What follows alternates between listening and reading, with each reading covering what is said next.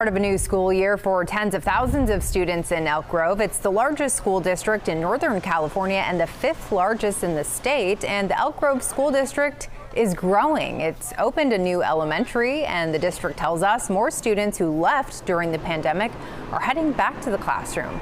More students are also riding the bus this year, and that has the district trying to figure out how to cover all of the routes. And here's KCRA 3 News' Michelle Bandur with a look at the school bus driver shortage. They made it through the first day of school at Elk Grove High School. Oh, we always need more drivers. But for some students, getting home will take longer due to a school bus driver shortage. Every year we're down by about 25 to, to 30 regarding, you know, in, in, in reference to the routes that we need to cover. Elk Grove Unified School District is down about 20%. It needs 160 drivers to cover its 150 routes.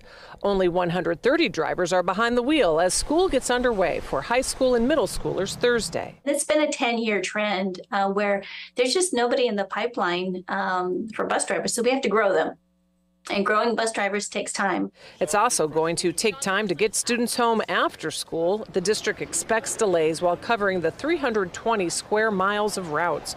There are also about 1,000 more students riding the bus this year than there were last year. We'll make sure that our routes are covered for mandated routes, um, you know, students that, that have to have transportation. Um, but we're recruiting right now. Again, we, we recruit pretty much all year round for bus drivers. The district is currently training 25 new hires to get drivers on the road soon, but would like to see more people interested in taking on a role that's an important part of a child's education. The personality that we're looking for, are people who are, you know, independent minded because they they're in a they're they're the captain of their their bus for the you know for the day. The district encourages parents and guardians to download the Here Comes the Bus app on their phone so they can follow their child's bus in real time. Now the pay for school bus drivers ranges from $21 to $33 an hour depending on your experience. In Elk Grove, Michelle Bandur, KCRA 3 News.